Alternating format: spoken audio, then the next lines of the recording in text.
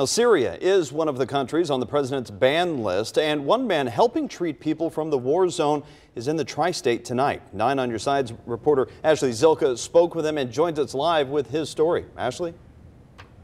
Well, Craig, before moving to Israel, Amir Yarchi served as a community emissary here in Cincinnati. He now helps a hospital that is treating patients from across enemy lines.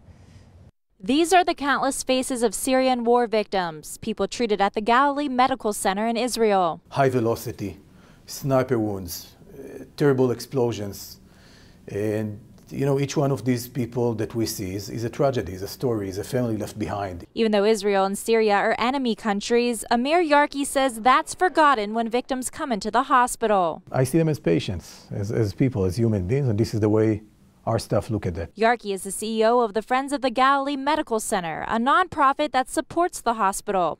In a packed room Wednesday night, he came back to Cincinnati to explain why Syrians are willing to come to Israel for help. Someone told them that this is the only chance where we can actually make it and survive. For Steve Pentelnik, Yarchi's efforts are eye-opening. People are being hurt, and the whole world needs to rally around it. And if Israel can find a way, you know, to reach out to a nation that's at war with and really provide you know, uh, urgent care to them, so can other nations around the world. Yarchi calls it one of the most complicated humanitarian efforts in history.